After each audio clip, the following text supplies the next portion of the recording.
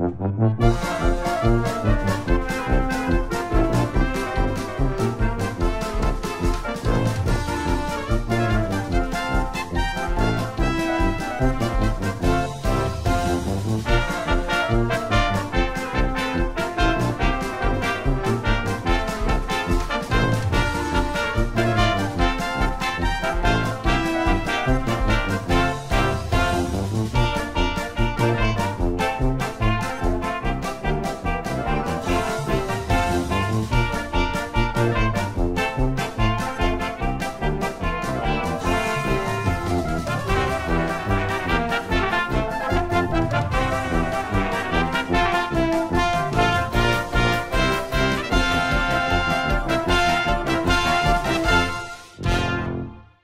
Hello everyone, I am Variety Central. Welcome to VeggieTales Alternate Ending. The furnace overheats and explodes, and the chocolate factory explodes with all workers inside it, and all workers are dead in a fiery explosion. Bob and Larry get into an argument, and Larry sombrero comes alive and it attacks Bob while, while Larry is chasing Bob around the countertop.